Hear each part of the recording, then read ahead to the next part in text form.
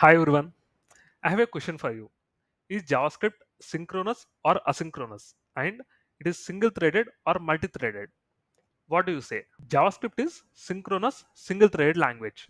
So let us understand this statement.